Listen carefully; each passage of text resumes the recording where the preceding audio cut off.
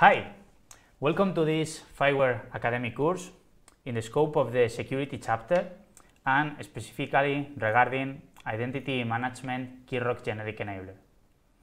In this lesson, I'm going to explain you the general architecture of this component of this generic enabler um, and then I will uh, give you some pointers to the documentation uh, you need to perform the installation and the configuration of this uh, generic enabler uh, on your own infrastructure. Okay, so let's start with the architecture of this component.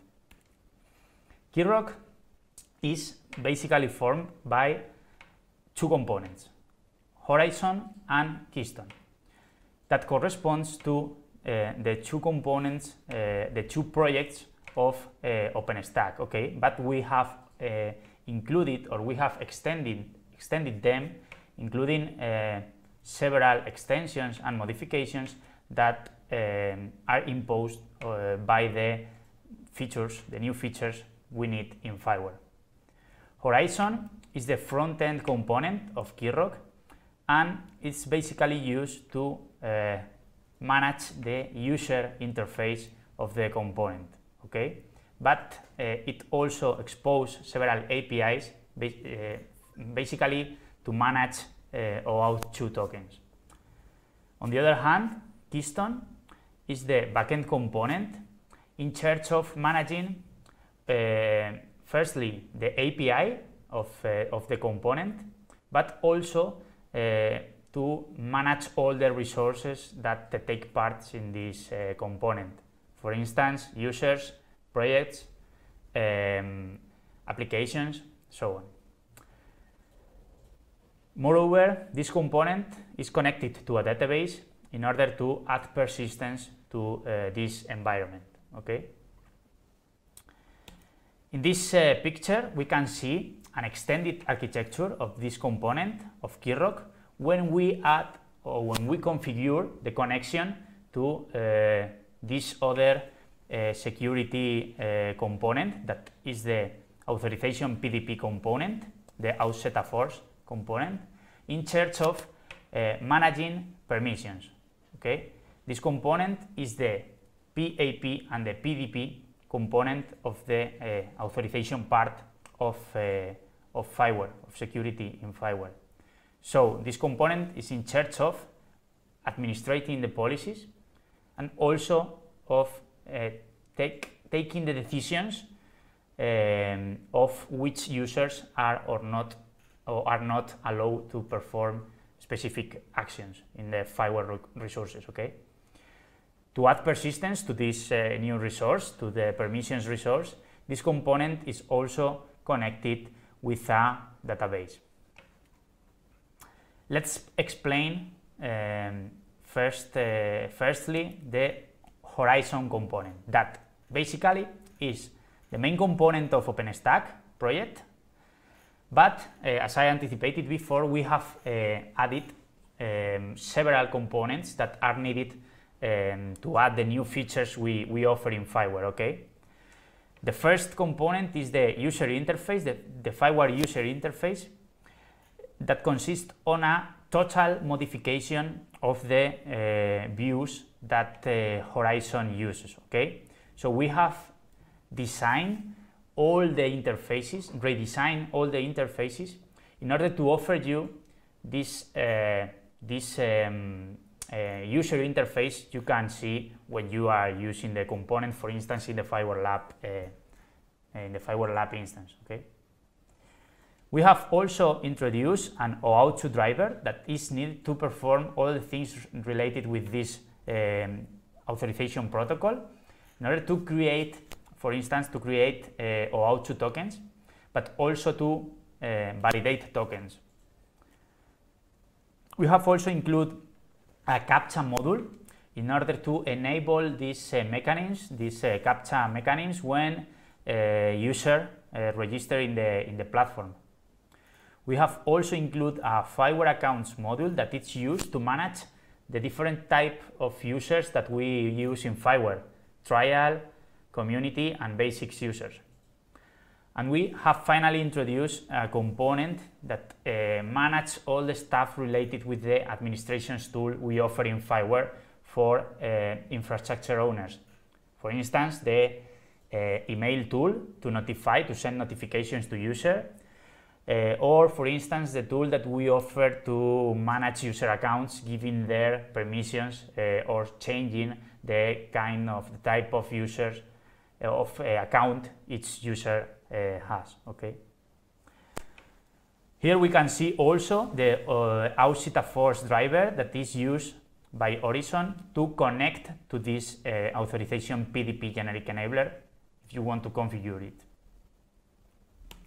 In Keystone, we also use the OpenStack uh, Keystone project as base of this, uh, of this um, component with the Keystone API uh, as it is, okay? So we are exposing the same APIs that, uh, that the vanilla Keystone component offers.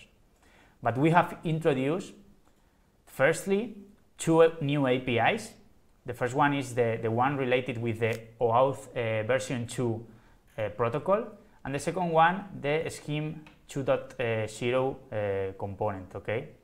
That is a wrapper of, uh, of the users and project API in order to enable massive, massive request, okay, to these, to these APIs.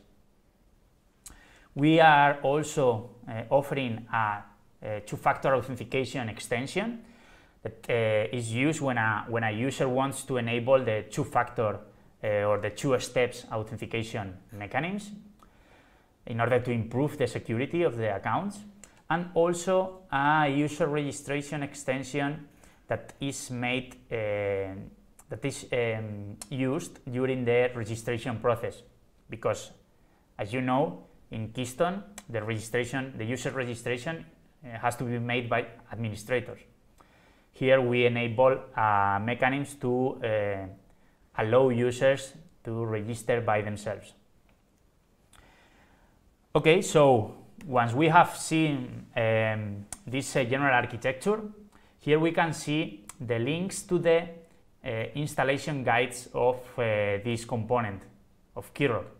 The first, uh, the first one is a link to a quick installation guide, and the second one to a detailed installation guide with a step-by-step -step process to, uh, to uh, be able to install this component in your own infrastructure, okay?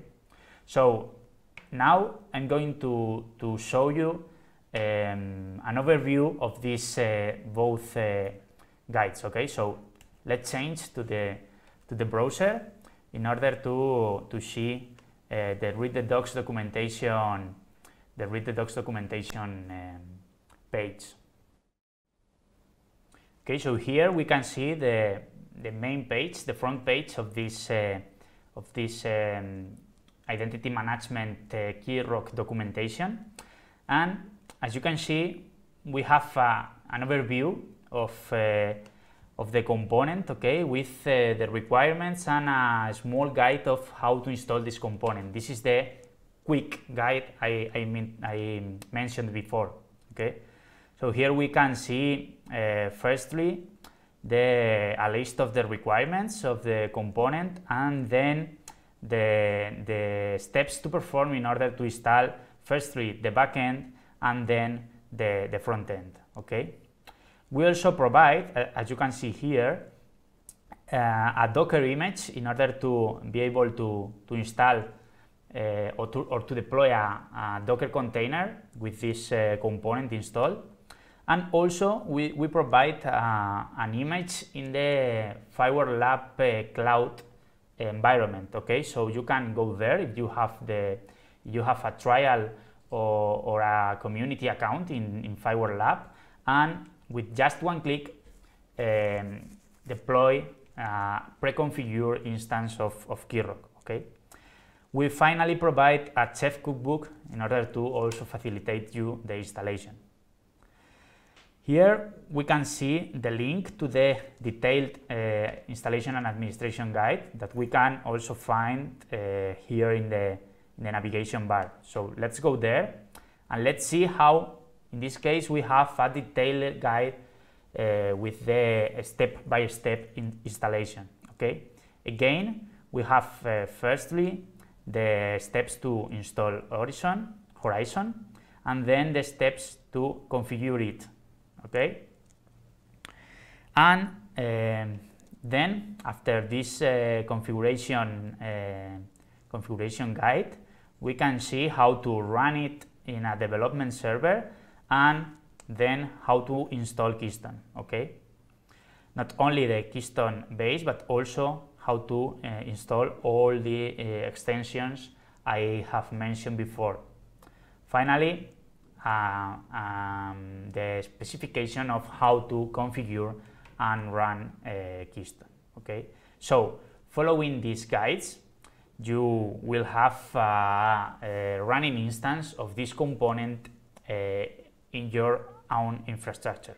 Okay, so thank you uh, very much for, for your attention.